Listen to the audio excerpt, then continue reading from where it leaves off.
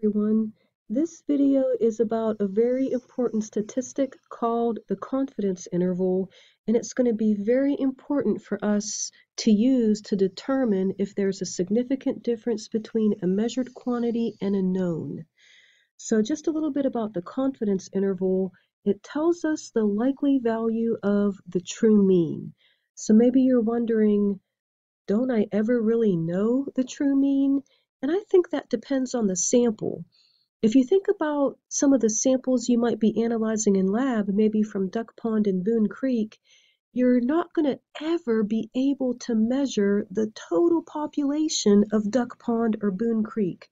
It's always going to be a sample of the population, so you'll never really know the true mean, only the likely value of it. And we can have different levels of confidence in this value. For example, we can be 50% confident, 90% confident, 95% confident, and so on. And finally, the confidence interval depends on the so-called student t, and I'm showing you a table of student t's from your Harris text. Uh, again, you can see that it, it's organized in these columns with different levels of confidence. Notice that 95% confidence is in a different color because that's the most common level of confidence that we use in our calculations. And also notice that it's organized according to the degrees of freedom, which again was n minus 1. So the formula that we use to calculate a confidence interval is the mean plus or minus some range that's given by t times s, the standard deviation, over the square root of n. So I think one of the most important things to remember when calculating a confidence interval is to use the correct t. So let's see if we can do an example Let's see if we can find the 50% and the 90% confidence intervals for these lead concentrations, and they have the units of parts per billion. Anytime I'm asked to calculate a confidence interval, the first thing I do is count how many data points I have. One, two, three, one, two, three. That's five. And that means that the degrees of freedom are four. I like to do that just to make sure that I use the correct value for t. So the 50% confidence interval is going to be the mean plus or minus some range. So I'll let you calculate the mean on your own.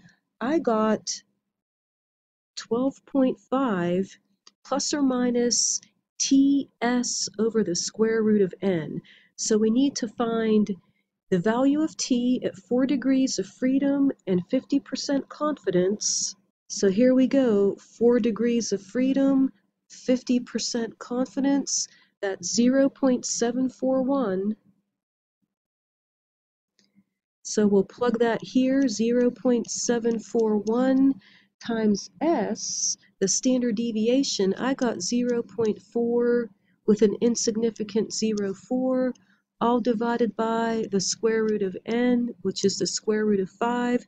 So the 50% confidence interval is 12.5 plus or minus 0.1, and I guess those units are parts per billion. So we can do something similar for the 90% confidence interval. Uh, again, that'll be 12.5 plus or minus, and now we've got to find the value of t at 4 degrees of freedom and 90% confidence. Let's go look at our table. Here, here it is. 4 degrees of freedom, 90% confidence. That's 2.132. And everything else is the same. So when I did the arithmetic, I got 12.5 plus or minus 0.4 parts per billion. So oftentimes the way that we interpret a confidence interval is we say that we can be 90% confident that the true mean falls within this interval. We can be 90% confident that the true mean falls within this interval. And isn't it interesting to note that when we're only 50% confident, that interval is smaller, isn't it? That is okay to interpret the confidence interval that way, but really there's more to it. There really is a lot more to a confidence interval. Imagine doing an experiment where we measured the lead concentration in water and imagine doing that experiment. So on the x-axis, this will be the experiment number. We did it one time, two, three, four, five, and so on, maybe almost an infinite number of times. And let's imagine that this is the true value, the true lead concentration. So imagine that we did our first experiment, we got a mean and uh, let's say it's a 90% confidence interval. And then we did the experiment again, experiment two, we got a mean and a 90% confidence interval. And then in experiment three, we got another mean along with its 90% confidence interval and so on and so on and so on.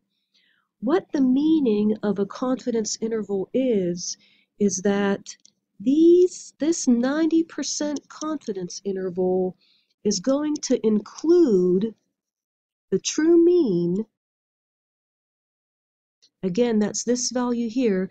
The 90% confidence interval will include the true mean in 90% of the experiments. So I know that's a little bit confusing, and that's often why, somewhat incorrectly, we say,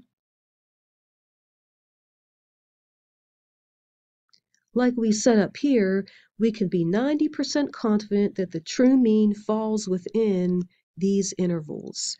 So again, we'll use the confidence interval to determine if there's a significant difference between a measured quantity and a known, but I'll save that for class. Hope you enjoyed the video and thanks for listening.